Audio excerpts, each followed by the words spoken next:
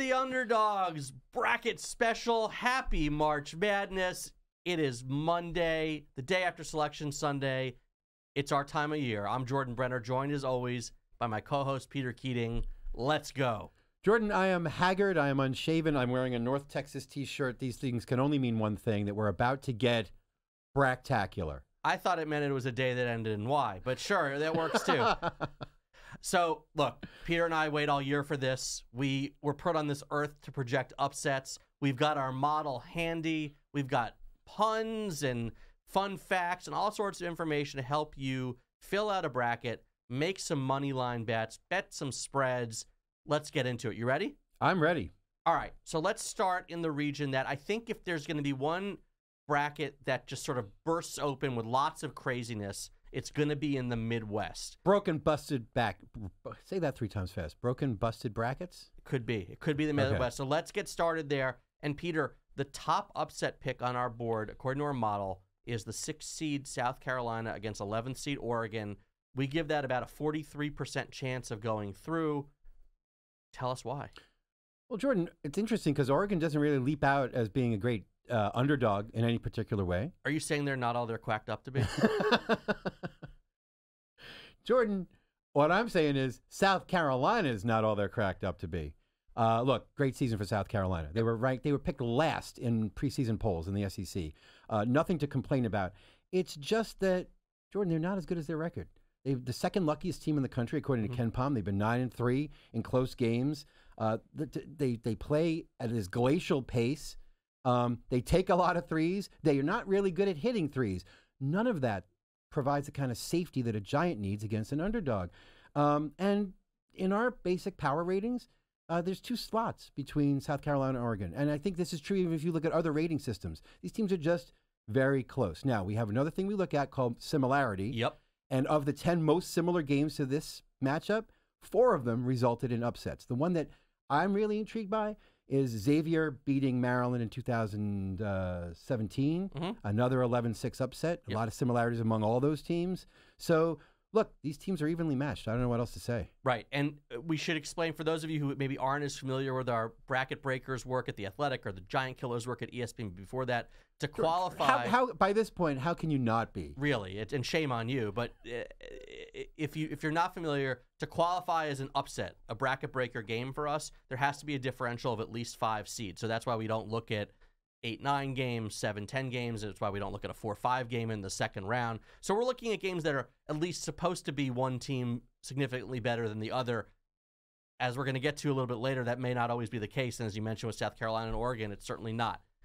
We- We've got other significant potential upsets in this region. I've got my eye on the 5 12 game. That's Gonzaga against McNeese State. Our model gives it a 30.8% chance of happening. And to be honest, we could have had an even bigger upset chance if McNeese had drawn someone other than Gonzaga, who's a pretty safe giant the way we profile things. McNeese is this rare combination. A lot of times, teams that are really good in small conferences are built to beat inferior opponents, right? So they play a more conservative style. They just may just have more talent than everyone else in their small conference. McNeese somehow dominated their conference and plays a high risk, high reward style that we love, which Will Wade brought from VCU, where he was an assistant under Shaka Smart. Right, and this isn't easy. It's hard to dominate your inferior opponents in a small conference, then turn around and play the high risk, high reward styles you need to execute well to beat a superior opponent. They've got all the traits to do that. This is Gonzaga. Even now, Gonzaga is probably better than most people think. I Right. mean, yeah, that's a five seed. They're a powerful team, Jordan. But let's talk about McNeese for a second, okay? They Yeah. first of all, they're ranked 60th in KenPom overall, so they're just a good team. Okay, They're a good team. Shahada Wells, excellent guard. He's averaging just a hair below an 18, 5, and 5 season. And then they do all the things we like to see out of the possession game. Okay, they're really disruptive defensively. They rank sixth in the nation in turnover percentage. They force turnovers in about 23% of opponents' possessions. They protect the ball on offense. They don't turn it over much themselves, giving up only 14% of the time. Such a huge possession advantage. They grab offensive rebound on 32% of their misses Right. and they play really slowly, which, as we've talked about, the fewer possessions in a game, the less chance for the more se- talented team to separate itself. So think about that. Yeah. They're, they're not letting opponents get away from them. but they're also accumulating a lot more possessions than their opponents. It's a huge It- edge. it's a it actually it's a perfect recipe is Yep. what it is. And you're gonna love this, okay? They have serious chameleon potential. now now, what is the chameleon? All right. Well, it's quite simple. It's a team that, depending on its environment, can change its stripes a little bit. So, picture a team like Harvard in 2013, which had a really good three-point shooting team, but didn't have to shoot many threes to win the Ivy League. Well, against their better opponent, they had to increase their variance. So they took that really good shooting stroke, they took more threes, and it worked. They upset uh, New Mexico and Cincinnati in back-to-back tournaments. and you'll Well, see smart teams do that. Think about St. Peter's a couple of years Yep. ago. Played slow, did not shoot well, but tournament time came and what happened? They started hitting threes because they started taking threes. They increased their risk in an intelligent way. That's what smart teams do. So McNeese, okay, only took about a third of their shots during the regular season from three point range. In today's college basketball, that's not a lot. But they hit 39.4% of them. Right. That's fourth in the nation. So against a better team, we saw this. They played UAB in November, another NCAA tournament team. They beat them by 21, and McNeese went 10 for 19 from three. Right. So if they increase the frequency of threes a little more against Gonzaga, that gives them an added edge. Look, Gonzaga's big, okay? Graham Ike, Anton Watson inside. That's going to be a lot for McNeese to handle, but this is a real legitimate 5 12 upset chance. Right. Now we're giving it about what, a 30%? 31. 31% Yep. chance, which just shows you like against against a weak or vulnerable giant against a regular 5 seed, this would be a 5-12 upset you'd see coming from a mile away. So it's Mhm. credit to Gonzaga's basic strength, right? And their work on the boards. Uh, the, I mean, they accumulate possessions themselves. Sure. That it's going to be tough. But our model is saying that even considering Gonzaga's, com- you know, edge and level of competition, let's say, right, um, an edge in skill, there's still a really good chance in this game. So we got one other first round game in this region that also cracks the 30% threshold for an upset. That's Kansas, the four seed, against Samford. Um, Peter, another game where similar, si- the similar games model really likes this. Four of those 10 most similar games ended in upsets, including Florida Gulf Florida Coast. Gulf Coast, a, a very VCU. right, memorable upset. And this doesn't even account for Kansas. This is just saying the Kansas team that existed all season long. right, That doesn't account for the fact that Hunter Dickinson and Kevin McCullar are, are injured and we don't know what kind of Now, shape they'll be in. The, the latest reports are they're supposed to be back for tournament time, but we, we can't be sure, and we can't be sure how it's going to affect the and team. And in what shape, right? But So- Jordan, let me let me tell you. Talk I about mean, Bucky there- Ball, There's well, wait before we even right. get to Bucky Ball. There's more bad news for Kansas, and it, it's about their season-long play that you just mentioned. Look, most teams that are this good, okay, do something dominant to build possessions. They're either really good at creating take uh, turnovers or avoiding turnovers, or the offensive glass or defensive rebounding. Something somewhere, Mhm. right? Kansas is not particularly strong in any of those areas. I believe that's what we call a generic giant. A generic giant. Yeah. Because what do they do? They ride their superior shooting skills. Now, look, Kansas is is excellent at two point shooting and protecting the rim. They're impressive strengths, but they're not good enough to protect an overdog against an underdog that gets really hot or against an off shooting night. There's no there's no security blanket there. Now, on the other hand, look at Samford. Samford does everything you want, everything you were just talking about, right? They shoot the lights out and take a lot of threes and force turnovers mm-hmm. and they hit the boards. They're they're a possession building machine. So yes, were we on Bucky Ball months ago where we've been fans of Samford all season? Yes. Mm-hmm. Because they're aggressive or fun? No, it drives me crazy. It's like when people used to say Billy Ball with Billy Martin in baseball was about stealing bases. No, it was about taking intelligent risks. And so is Bucky Ball. They add risk to add the number and value they add number, the quantity and value to the, you know, they, they amp up their volume and value of their possessions. That's what Samford does. Now, generic giants, okay, these generic giants, you might be saying, well, look, Samford, Samford's three inches shorter on average than Kansas. They're going to get blown off the court literally. You know, who has Samford played all season? Well, let me tell you, generic giants have lost in 36%, not just of all tournament matchups, in 413 matchups. Even when the seedings are this wide apart, these giants who don't have possession building strategies in their arsenal have trouble. Also, giants that don't do that against killers with a great style, like Samford's a sharpshooting killer, they go down about 30% of games. So even adjusting for all this, this looks like a very dangerous 413 matchup. All right, I want to get to we before we have to move to the other region. I want to get to the second round quickly, but before we do that, one last game that we would call not completely crazy actually is uh, is the Akron Creighton matchup, the 3-14. We give Akron about a 20% chance of winning this game. It's largely because Creighton doesn't do any of the things we like to see out of a safe giant. They are wholly reliant on shooting. They're a great shooting team, but they don't do any things like you talked about to give themselves a security blanket. They don't offensive rebound. They don't force turnovers. They play slowly. Not good traits in Giants. So Creighton is a type of team that could make a deep run if they are hot shooting, but also can make an early exit. You stub your toe once as a great shooting team, you go home for the rest of the se- the rest of the year. Real quick, we don't see a lot out of Tennessee versus St. Peter's. Purdue plays Montana State or Grambling State. If Purdue loses again, they just they need to they need to play in the NIT Pur- next year. Purdue finally got a safe enough slot that they're probably not going to lose in the first round. Right. But real quick, I mean, we've been saying that for years, so God help Matt Painter. Real quick, couple second round games to, to look at. I'm really intrigued if McNeese gets by Yep. um gets by Gonzaga. Gonzaga and faces Kansas. Then they have Kansas. we give that about a 43% chance of happening. The other one that's interesting, real quick to touch on, is Creighton versus Oregon. We mentioned Creighton not doing the things they need to protect themselves. Oregon is just a pretty good team. We give it about a 39% chance of them as an, if they again they have to win their 11-6 game first, but they might make it a, a double against Creighton, right? The brackets the brackets have lined up sneaky good for Oregon of all teams. Right. And and amazingly, because I thought we like TCU, I thought we liked TCU, but are, we only give like a, you know, a, what a a thirteen percent, fourteen percent chance of them beating Purdue.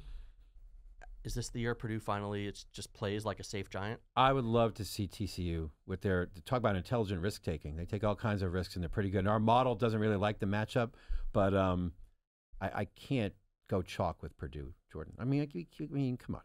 Right. I'm- Well, We're in a North Texas shirt. fair enough. All right. So look, Midwest chaos could happen. We'll be back with the West right after this. We're back with more of the Underdogs March Madness special. I'm Jordan Brenner. I believe you meant to say the Bractacular. That's the Bractacular Peter Keating. Let's head to the West, all right? This region is where you'll find our biggest upset on the board, okay? That's right. An upset that even really shouldn't be an upset, Right, I right, Peter? say you want some air quotes around the Yeah. word upset there. Jordan, look, how much time and how much energy and how much money does the selection tournament committee get now? They have sponsorships on it for everything, right? Mhm. They got one job. Here's how you know if they're doing a bad job. If there's a matchup where if you reverse the seedings, the game would make more sense. Mhm. What the hell is Clemson doing as a six against New Mexico as an 11? Look, we've been talking about New Mexico not as a particularly good underdog, just as a good team Mhm. for weeks. Our model says New Mexico is a top 25 team in the entire country now. And so does Ken Palm, by the way. and these teams, right? I mean, they're better straight up than than Clemson. So uh, I'm sure betting lines are already starting to reflect yes. this. No, New Mexico is favored in this game. Now, look, our model gives them a 58% chance of pulling the, again, air quote, upset. But you're right. The, the markets have converged Right. on, on advanced metrics so well that you're not fooling anyone. And Peter, we have history with games like this in the 11 6 matchup. Yeah, and we have history with the bets converging on the side of the team we'd like to pick as underdog and making them favorites. So what do you do? I mean, you can, you know, are, are we now betting against ourselves on the money line? It's, but but but I'm going to claim this as a win because, like I say, we've been writing about New Mexico for a while as a good value play, and um, the tournament committee just didn't respect the Mountain West enough to give them a slot that they earned. But we think New Mexico is about two points better per hundred possessions than Clemson. And Clemson's a terrible giant. And here's right. We talked about generic giants. Right. Clemson is not dominant at either end of the glass or forcing or avoiding turnovers. And they play slow. And they play slow, which constantly puts them in danger. Plus, New Mexico, similar game model again. Five of the 10 games, including three of the four, four most similar matchups in tournament history, ended in upsets. So Right. there's so many signs. And if that's not enough, you've got Richard Pitino coaching Jalen House, the son Right. of Eddie House, Right. and Jamal Mashburn, son of Jamal Mashburn. Right. How can you not like the Lobos? Look, we used to call New Mexico one of those schoolyard bullies that would that would get all these big, tall guys literally elbow their inferior opponents off the court. Wait, wait. There were tall guys in basketball. Tell me more, Jordan, Peter. do you remember Sim Bhullar? I do remember Sim Bhullar. Okay, would you call him exceptionally tall He and, was. and exceptionally wide? Yes. Okay, so he was the prototypical old New Mexico player. What they do now is they Are there new New Mexico? Nueva New Mexico. okay. Well, on Uh, that note, let's move on. There's only one other game that because we're going to talk a little bit more about New Mexico going forward, right? Uh, Jordan, I'll lead wherever you. I'll follow where I'll lead wherever you follow, or There's- vice versa. There's one other game in this draw that that crack that clocks in. with- Clucks, clucks, Oh, cluck, cluck, cluck, yeah, Clucks there's no the- chickens. The, the the chickens. Who are the chickens in this tournament? The Trinity Bantams did very well in the D3 there's tournament. some there's but- some yeah. Ospreys. We got some Seahawks. All right. So the We uh, covered the Peacocks. Grand Canyon against St. Mary's. That's a 12-5 game, and that also has about a 30% upset chance. Um, look, St. Mary's is an amazing rebounding team, which we generally like to see out of out of actually Giants and Killers. But they're third in offensive rebound in the country and second in defensive rebounding. I, I don't. Do you remember seeing that? no, that that, that very, excellence at both ends. Yeah, it's really rare. Mitchell Saxen's a beast at 6'10, Yeah. but they did lose Joshua Jefferson to season ending knee injury. But here's the thing, and, and I'll let you talk about Grand Canyon, your favorite for profit school in the tournament. They do a lot of things that do, can do I have other? Are there other for-profit schools? Has Trump University made the field yet? I, I don't know who else is even for-profit. By the way, I learned they're contesting that status. Oh, so really? We, should, we are. We are Okay. I am honor bound to point out the Grand Canyon itself doesn't like to be called a for-profit Okay. school, but it's been adjudicated, and I believe they are. Right, we won't make fun of them right now because we kind of like them as a killer, yeah, right? yeah. We won't. We won't make their their money jokes. Um, look, they're a great combination of offensive rebounding and forcing turnovers. Another combination you don't often see all that much together. They're 30th in the country getting their own missed shots. They're 20th in the country at forcing. I'm sorry, 39th in the country at forcing uh, turnovers. And they got a they got a, a, a player, Tyon Grant Foster, who does everything. I mean, he scores, he rebounds, Great and, story. and he's and he's got almost two steals a game. Great story. Ni- about 20 points a game, six boards, about a block and a half, a steal and a half. He started his career at Kansas, then went to DePaul. He missed 16 months after collapsing on the court twice, Right. almost dying and having heart surgery. It was a close call. too. he was a big time recruit. It's Yeah. really great to see him. You know, he's an NBA prospect. So, you know, they're not going to be intimidated, certainly by St. Mary's. So, this uh, this is going to be fun. All right, moving along.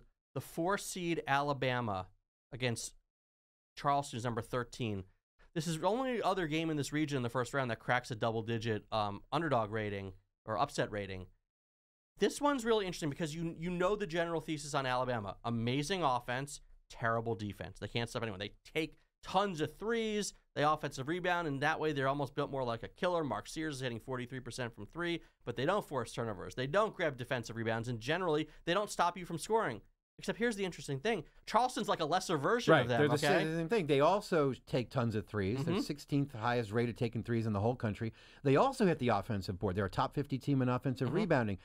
Unfortunately, when you have an uppercase and lowercase versions of, of the same pattern of teams statistically, that does not bode well for the underdog. I mean, it's like playing your it's like playing your bigger brother. That Right. never that never works out. Well, and it's it's you know look the, everyone's going to be all over the um, the over in this game just because as bad as Alabama is defensively, um, Charleston's even worse. Uh, I've got to imagine it's going to be baked in already. But um, as I look for the over under, I mean, how much of a chance do you really give Charleston in this game? I, I think the model has it pegged high at 17%. I mean, there are a couple of similar games. He might, I mean, Duke versus Lehigh in that big upset rates as a similar game. But uh, again, when your strengths are your opponent's strengths, but your opponent does it all better, it's it's a hard it's a hard road for an underdog. The over under is 173, which is unheard of in college basketball. So, you know, That's getting high. I tend to like to bet first half unders as a strategy in the tournament, but I don't know what's happening here. But uh, real quick, our top three seeds look pretty damn safe in the first round. We have UNC is about a, a 3% chance of losing to either Howard or Wagner. Arizona about a 5% chance against Long Beach State. And Long Beach State, great story, right? Yes. Uh, they they just about fired their coach, and then they went on a run that won the conference tournament, so they got a bid. Great story. Very little chance Right. against Arizona. And then Baylor Colgate, the 314 game, it really is only about an 8% chance. You- You're, you're not a big fan of Colgate, right? No, Colgate is one of those teams again that we call a schoolyard bully. Colgate. Now, I want to be clear: we're not criticizing programs that build themselves into conference champions and winners who gain NCAA bids. You know, teams like Colgate, Vermont, Old Bucknell teams, teams like Liberty, right? Mhm. These teams win 25, 30 games every year, make the tournament. That's successful. It's just that the things you do to get those records don't often translate into tournament success unless you can add, like we've been saying, add some risk to your portfolio. You know, Right. diversify your asset class. Colgate does this every year, and uh, it's not going to end well against Baylor. Right, and Baylor's a little bit of a better version of Alabama, right? Great offense, questionable Yeah. defense at times, but I think that I, I can see them. I can see them making a run in March. I don't know quite why, but they just have. Well, it's because if they hold an opponent even at bay for a little while, they can destroy them. And they've got look, Ja'Kobe Walters, an Yeah. NBA player. Yves Missi is is a real NBA player at seven feet. I love Ray J. Dennis's game at point guard. Jalen Bridges can shoot it. Jayden Nunn can shoot it. So they're they're fun to watch. Um, Do you have a pick in the Howard Wagner play-in game? Because those are, I wanted to say, you know, those, I, I those believe are I went to um, uh, uh, uh, an acting class with Howard Wagner. um, he was. Uh, Those are two fun teams. I mean, Wagner is on the ride, a, a very enjoyable ride. They're under 500 overall, but those are two fun teams. can I skip ahead to the second round for a couple matchups that really intrigue me? I Joe? wish you would. So we love a good one eight game. You know, who knows what's going to happen in the Mississippi State Michigan State game, but UNC is in trouble, especially if they play Mississippi State. We've liked them as a, as a wounded assassin, a team that gets beat up in conference play for quite some time. But our model gives that about a 32.5% chance of, of an upset. Five of the 10 similar games in our model ended in an upset there. As I said, Mississippi State is the classic wounded assassin. They're a great offensive rebounding team, about 35% of their misses. They allow less than 30% three point shooting. They force turnovers. They're 20th in the country in defense. They struggle to hold on to the ball and they're terrible shooters, but Carolina doesn't force a lot of turnovers. So they can muck things up a little bit for Carolina. Yeah, I mean, Mississippi State has trouble hitting the water when they fall out of boat. I mean, they're like one of the worst shooting teams in the country. However, they do everything else you want an underdog to do. It was comically extreme last year. It's a little less edgy uh, this year. I, I like that matchup against UNC. Right. And Michigan State, about a 23.5% chance of beating UNC. They're a better team than they are killer. The question for them, can they dial it up from three? They're a good three point shooting team. They don't take a lot of them. Now, I also know we just said we liked Baylor, but New Mexico, just rating as highly as they do, just on the strength of their power ranking, when a top 25 team in the country, they're going to be a threat in the second round if they pull off the first round upset. And and I'm I'm I'm eyeing a, a Grand Canyon upset of Alabama if they get by there too. That's about a, a 22% chance of happening, and I think that maybe underrates Grand Canyon's ability because of Alabama's defensive woes. One other one I want to look at really quick is if Dayton gets by Nevada, uh, they'd have about a 21% chance of beating Arizona in the second round. Arizona is a great giant profile. They really sort of excel in every area we talk about, rebounding at both ends, turnovers at both ends. But Dayton is the third best three point shooting country, the third best three point shooting team in the country at about 40%, and they take a ton of threes. Yeah. 45% of the shots. They've got Koby Brea, 49% from three. What does that mean? It means they have a shooter's chance, Yep. right? You always have to fear a team that can get hot from three, and that's something to keep in mind. Also, Dayton cracked the code. Like, when's the last time you saw a team that reliant on three point shooting do so well early in the season that they were considered a lock no matter what? They didn't win the conference. They got blown out of the conference tournament. They still landed a seven seed. Now they have a chance. Look, so we don't, we only have a couple of big time upset projections in the first round, but the second round in this bracket could be really interesting. And you know what's going to be even more fun? The second half of our show, because we've got a whole half of the bracket coming up after this.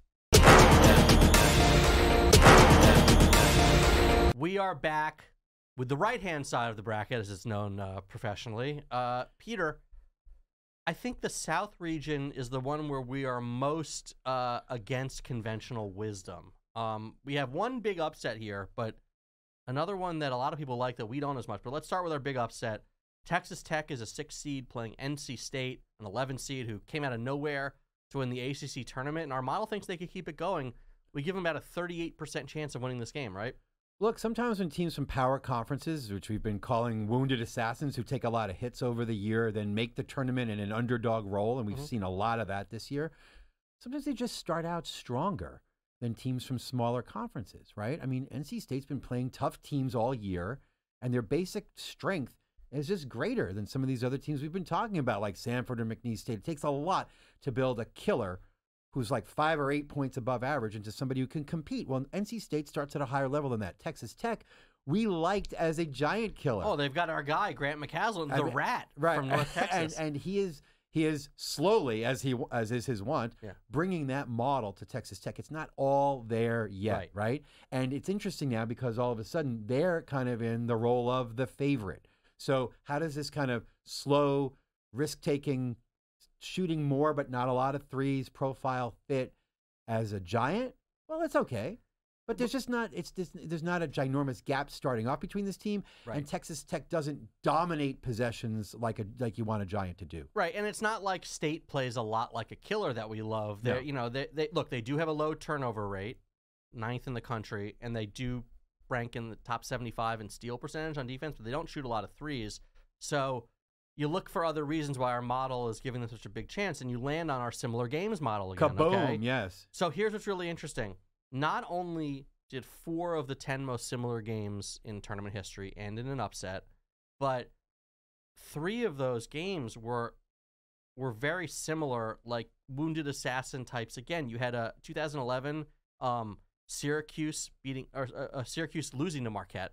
Mhm. I think Marquette was the wounded assassin that one, right? Yes. Um, you had 2011 uh, Gonzaga as a wounded assassin upsetting St. John's, and in 2015 UCLA as an underdog Right. beating SMU. So this feels it like this fits with that motif. And if you just look at this, if you just line up the statistical profiles, right? You go to some site, you know, the, the colors will start to match because that UCLA team has interesting similarities to this NC State team. Yeah. These like teams from very strong conferences that lost some close games that were pretty good but not great, but were good enough to play really well when they got in the tournament. But nobody had DJ Burns because the man is gonna eat inside. Now, here's here's a game we're gonna go the opposite way on. Okay, James Madison, who we've loved all season long, is the 12 seed. Wisconsin's a five seed. Okay, lots of people already picking it in their brackets. Lots of experts. The money line is is um, James Madison plus 190, which implies about a 35% chance of winning.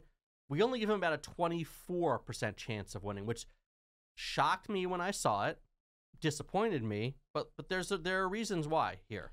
Oh, look, uh, Wisconsin is a type of favorite, a type of top seed that plays a style that can control a game. Normally, we don't like to see Giants play at a slow pace because it means they never establish a lot of separation. But Wisconsin does that as part of this style, which is very distinctive. They don't turn the ball over, they grab tons of defensive rebounds. So they accumulate possessions at this steady clip, and it's just a style they can impose on other teams. Right. James Madison's a great shooting team, but they play very fast. And and and that's not you know Wisconsin's going to be able to. You can see scenarios where Wisconsin could just take over and not have to look back against a team like James Madison. Look, I was surprised mostly because James Madison holds a, a really nice possession edge in both uh, turnovers and rebounds, which is what we really like out of our best killers. Um, and they have some chameleon ability, like you said. They, they they don't shoot. They only shoot about an average number of threes, but they hit thirty six percent of them. now, have they done that? Have they done that against strong opponents Well- yet? I don't. I haven't seen like well, that's the other thing. They haven't played strong. Yes, and that's the biggest. That's the biggest. right. J- look, everyone knows James Madison because they opened the season with their win against Michigan State. But the only other two games they played against a top 100 KenPom team were both against Appalachian State in their Right. conference, and they and lost, they lost both both, games. of them, and that that right. So maybe we take them their statistical profile with a bit of a grain of salt, just because they haven't played anyone. It, it just sometimes you sometimes you do well in bracket pools by zigging when everyone else is zagging. And if this is the the trendy upset pick, and maybe maybe 40, maybe 50% of people in their brackets will say, oh, I'm taking a 12-5. I, I hate to say it, the math tells me take Wisconsin here and gain an edge that way. Look, James Madison has won 31 games, right? People are going to see that and jump on it. But the truth is, their high point may have come on that opening night of the season where they knocked off Michigan State. I mean, we were writing a couple of months ago about these big upcoming games. Like, when was the last time we wrote about big upcoming games between Sun Belt rivals like James Madison and App State? James Madison lost both games they played, like you just mentioned, App State. And um, so we haven't seen them expand their risk like we've been talking about successfully. Now let's go to the other end of uh, conventional wisdom here, okay? Kentucky's getting a lot of Final Four hype. No one's talking about them playing Oakland. Oakland is plus 700 as a 14 seed against 3 Kentucky. Those are implied odds of about 12.5% winning. We give them almost a 19% chance winning, which shocked me when I saw it. So why is Kentucky vulnerable? Well, our model sees them as overrated, first of all. Only see both our model and KenPom says Kentucky is about the 19th best team in the country. Right. And it's easy to see why. Yeah, I don't think they deserved a three seed to be Right. honest. It's I- uh, we know they're talented, but they haven't played to that yet. They Jordan, don't they're defend not they're not a top hundred team in on defense. defense. Correct. And that that might maybe that ought to disqualify from being disqualify you from being well, a top it's, it's three very. Alabama-ish. They, but they don't force turnovers. They're a below average rebounding team at both ends. Look, we know how talented they are. They shoot the heck out of the ball from three-point range. Their freshman guards, Dillingham, Sheppard, they're outstanding. But this has cropped up as a weakness time and time again. And, and for everyone just to say, well, Kentucky's going to figure it out in the tournament, it's lazy. Now, Oakland doesn't have one trait that stands out, but they play slow enough. They shoot an above average number of threes. They grab an above average offensive rebound rate. They've got Trey Townsend, who is a four year player at six seven. He averages 17, 8, and 3, does a little bit of everything. And they did play a lot of tough teams early in the year and hung with them. They lost to Illinois by 11, Drake by 8. They beat Xavier. They lost to Exactly right. Ohio State by 6. I- n- I'm just saying nobody's talking about this game. If I could put on my propeller cap for one second, Yeah, come, think of, it, think about a good team and a not so good team Yep. playing, and think about how any team does over time. The scoring is going to be in a bell curve, okay, with the hump in the middle, where the bell curves overlap between the two teams. That's the area where the worst team can win. So if you can expand that curve, right? If you can play take on a little more risk and you have a good night. If you can keep things slow, if you can grab a lot of your own missed shots, if you can do the things that Oakland does all at once, Right. you got a shot against Yep. a team like Kentucky who's going to let you score. Right. So, quickly looking at the other first round matchups in this region, we give Vermont about a 16, 17% chance against Duke, but Vermont kind of profiles as a schoolyard bully in their style. They do shoot a good number of threes, but Duke typically clamps down on the arc very well. The way you want to Duke is to challenge their rim protection. Right. This is exactly right. The- I mean, Vermont is the classic, the best probably example of the entire field of a team that has dominated its own small conference. John Becker's Vermont team is 46 and 4 in conference play over the past 3 seasons. They never lose inside their conference. right. That's because they grab every defensive rebound. They never make mistakes, but they don't play risky ball. Now, they do take a lot of threes. One of these years, Vermont's going to get in the tournament, hit a ton of threes, and surprise people. But against Duke, I don't. I mean, this is this is a bad matchup for Vermont. Yeah. So so real quick, the two other first round matchups in the region, we don't see Houston having any trouble with Longwood in the force in the in the one sixteen game, about a four percent upset chance. Marquette only about a nine percent chance of losing to Western Kentucky in the fifteen seed. But the second round is super interesting. And let's start with Marquette. Okay, they're going to be in a situation where they play either Florida as a seven seed or Boise State as a ten. Our model gives both of those upset chances higher than 30%, about 33% for Florida, 35.6% for Boise State. Real quick, the Florida game, 5 of 10 similar games Right. have have ended in upsets. Florida's 7th in the country in offensive rebounding. Marquette's a really bad rebounding team at both ends. Boise State completely different. Takes a load of threes, but five of the ten most similar games between Boise State and Marquette have also ended in upsets. Marquette's going to face a tough second round opponent. Right. While we're talking about 5 of 10, you got the same situation in a potential NC State Kentucky game. We give that about a 36% chance of an upset. So that's one to keep an eye on as well. If you're going to if you're going to take State to win in the first round, maybe you get a little a little Right, risky and take them and then right. And as, then- as with Oregon, the bracket the brackets have broken sneaky good for North Carolina State of all teams. And then, real quick, the 1 8 or the 1 9 game, both about a 20% chance of happening. If it's Houston versus Nebraska, got about a 21.6% chance of happening. Nebraska shoots a lot of threes. Even though Houston generally profiles as a very safe giant, four of 10 similar games in that have ended in upset. Texas A&M, Peter All and I, look, the look, game we're dying to see. Yeah. Houston versus Texas A, uh, Texas A&M, the best offensive rebounding in the country, uh, team in the country. Uh, they can't shoot. Not but- only can't they shoot, they'll be facing a defensive team unlike any they faced in Texas A&M. They will not make a shot off the off a But initial Houston- offensive possession. But, but Houston's one weakness is defensive Yes. rebounding. So so let me say this: Texas A&M's literally going to get a lot of chances in that game if it comes It's to pass. Literally, they just need to throw the ball at the hoop because they won't make it anyway. but they will get the, to but they get the ball back. try to get 30 putbacks. keep It shooting till keep keep shooting till you get putbacks. Yes. Just for the just the science of it, the Yeah. the beauty. We need to see that game. Yeah. Okay. And on that note, let's take another break, and we'll be back with the final region, the East, after this. We're back, and let's head to the East, which I think is looking like the chalkiest region right now.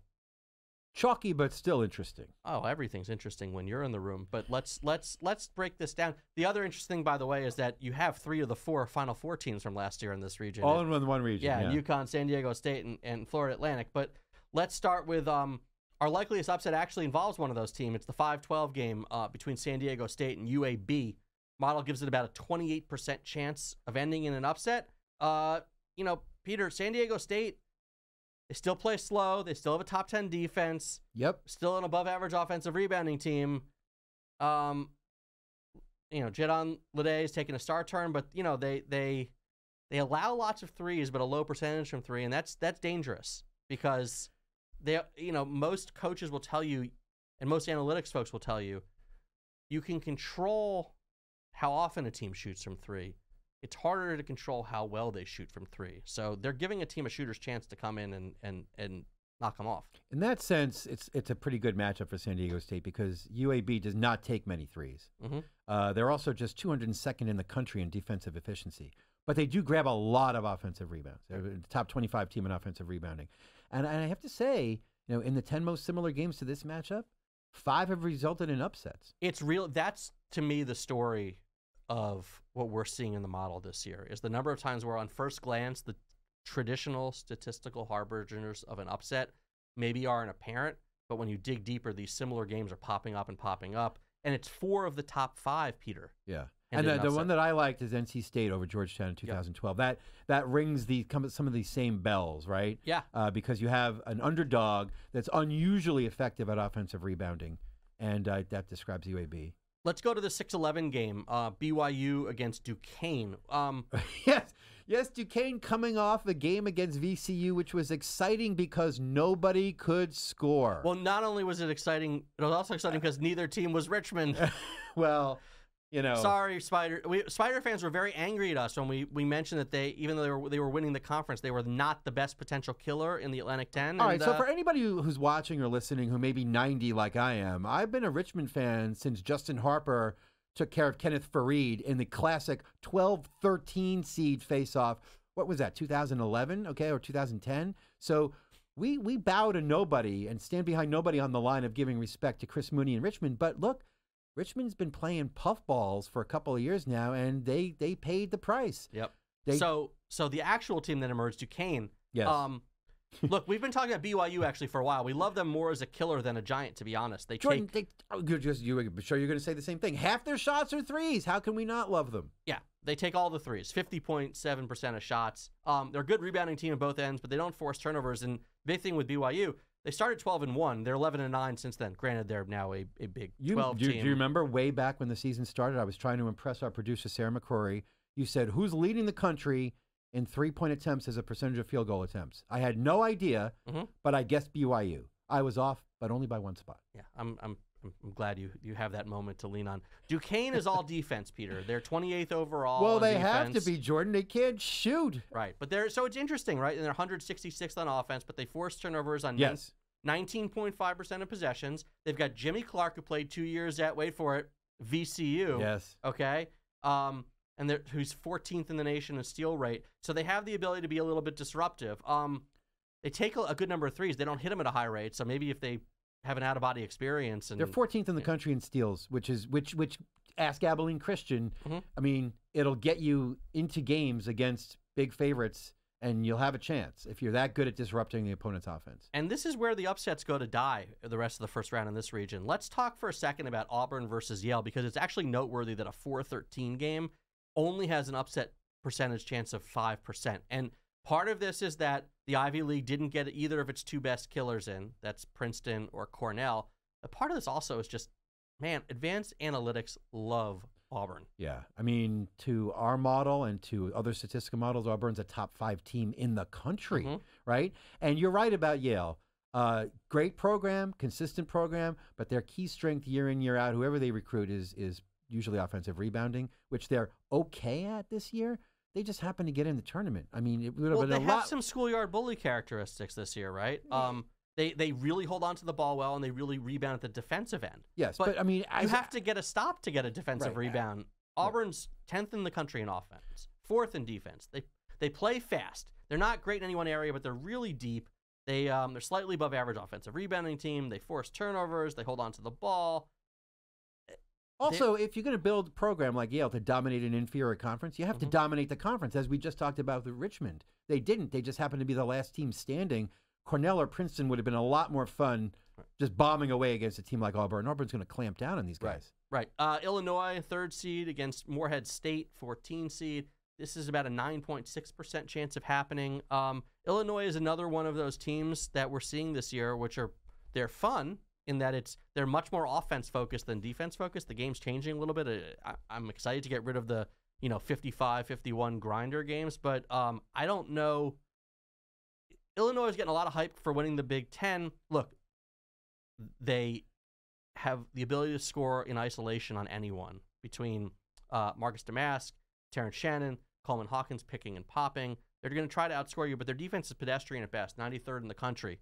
Um, But, Jordan, in this particular matchup, Morehead State ranks 278th in the country at keeping the ball, avoiding turnovers, Mhm. and 285th in forcing turnovers. Yes, they play slow. Yes, they take a lot of threes. But if you can't hang on to the ball and you can't grab the ball occasionally from the other team, you're not going to beat a better team. It's a desperate time for Morehead State. fun player to watch in this game, Riley Minix. He was an NA- Yes. NAIA player. Yep. Uh, came to Morehead as a grad student this year, and at six seven, he's averaging about 21 and 10 with more than a block and a steal per game. It's a cool story. It'll be fun to watch him. Yeah, you know, I'll tell you something. I talked up Johni Broome when he was at Morehead State a couple of years ago in mm-hmm. our pieces we were writing. Of course, they immediately tra- immediately transferred. So let's hope Yeah. the players we're talking about worth watching on these underdog teams stay with them a, a little bit. last two first round matchups Iowa State, the two seed, against South Dakota State, the 15, only about a 5% chance. And UConn, the one, against Stetson, Stetson a 16, only about a 16% chance. I, I wouldn't waste any time on those. But Peter, 16 seeds are very weak this year, Jordan. are, Peter, are we seeing anything popping in the second round for a little bit of chaos? Well, I'm not going to pick Duquesne to make the. Uh, I mean, would you? Would you pick Duquesne to meet this, make the uh, No. the Sweet 16? I mean, I'm look. It is our best upset percentage in the second round, right? They've got a what about a 25, 24 percent chance of Right. beating Illinois. Um, we talked again about Duquesne forcing turnovers. That's not. I don't see Illinois coughing the ball up that much against them, but it's it's at least a live dog. Um, I think the one you got to watch out for is Florida Atlantic, an eight seed against UConn. yeah, I mean, FAU uh, is above average in stealing. Um, uh, keeps thing keeps opponents very disrupted.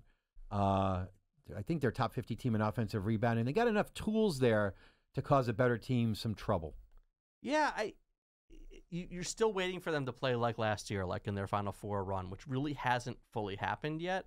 Um, UConn's only real flaw is that they play slow and don't force turnovers. So theoretically, that should give Florida Atlantic some bites of the apple. I, you know, everyone's on the UConn bandwagon to the point where it feels like a foregone conclusion. And, and let's let's not forget, by the way, this is the year where team after team kept losing on the road to unranked teams, right? Like the highest, the best teams. This has been for us to suddenly act like this tournament is going to be just all chalk. And if I watch bracketology and I see everyone picking one, twos, and three seeds in the final four, that's that, that's not how it's been playing out in recent years. There's too much chaos with the transfer portal and everything like that. Yes, UConn's really good, but like this is not like a UConn versus the field situation. But it's it's also people are biased towards things that just happened, Mhm. and the conference tournaments get huge publicity. They're on national TV. Everybody sees them. Yep. It's quite possible you can like offer commentary on the big tournament after just watching this past week.